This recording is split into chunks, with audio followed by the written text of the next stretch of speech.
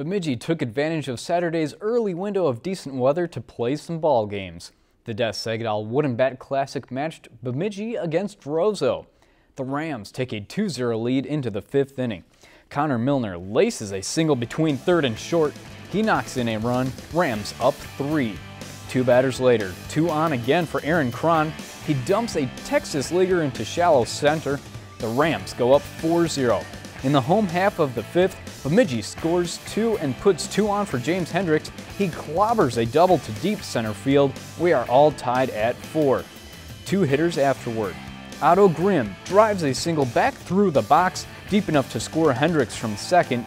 Lumberjacks grab the lead and they'll hold on. Bemidji wins 5-4 and they also turn around to beat Duluth East 6 5.